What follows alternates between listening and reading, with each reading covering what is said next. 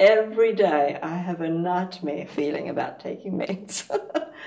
but that's just me. And um, it took me a long while to actually accept the fact that I was going to have to have medication. And I really have a huge problem with taking those types of things um, because I, I I like to have control of myself all the time. By this stage, my pain medication was back up to six to eight tramadol a day, to 300 milligram Lyrica tablets, and around eight Forte a day as well.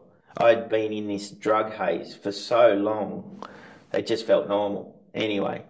So um, yeah, so it was it was an eye opener. It's an eye opener now, exactly how far, well, not comatose, but how far like I was drugged up to um, to to deal with all this pain. The use of medication in, in, the, in the most appropriate way in these situations to, to support all these other things I'm saying, it's a really important concept. When, when people get hurt, they often turn up into a medical practitioner very early on and they're given med, you know, medications. And sometimes I think the patients see that, that as the treatment. And what we would suggest is, in fact, these things are really great supports so that you can engage in a treatment process. The other very significant thing about medications is you have to look at what we call the pros and the cons or the benefits and the harms to do with medications.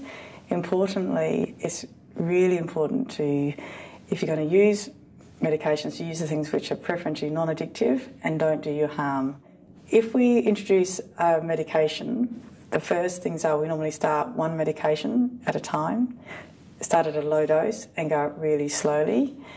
But then we look that in, say, three or four months, they will be potentially reducing that medication again slowly to see if the person still needs it. So the idea is that if you're already trying to do all the um, holistic um, skills to improve your pain, but that's hard. We can use medications with the idea we'll use them for a few months, improve where you are, and then we'll try and come off them. And that reduces the long term harm or risk of staying on a medication for a long period of time over over twelve month period, had seven procedures.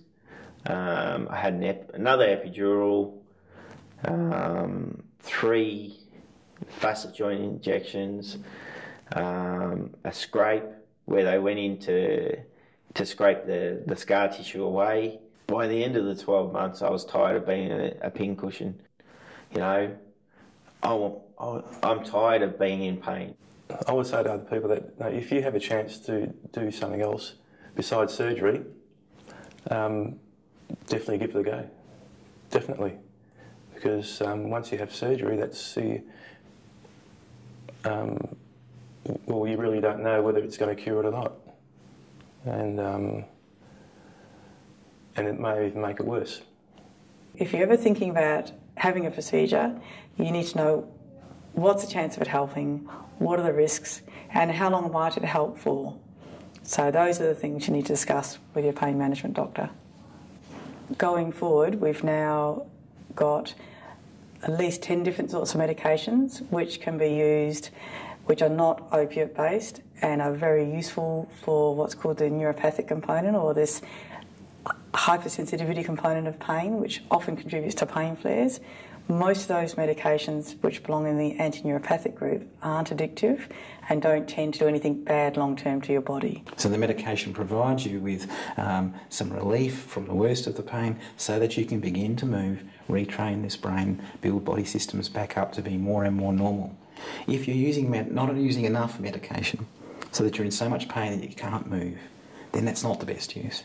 If you're using so much that it's hard to think, it's hard to remember, it's hard to drive, you can't do the things you really care about, you're over medicated, that's not the best use either. So we encourage people to talk to their doctors, find some middle ground and, and with appropriate medications. Ones again that are evidence based is, is the best idea that are used to then support the person getting back into movement, back into engaging with their social relationships, back into doing the things that they really love that they lost to pain. Um, and then just gradually, I was able to wean myself off everything And then um, I've just taken things like fish oil and things like that, which is a natural anti inflammatory. And yes, when the pain is very severe, I do have to take medication. And but one doesn't have to rely on it.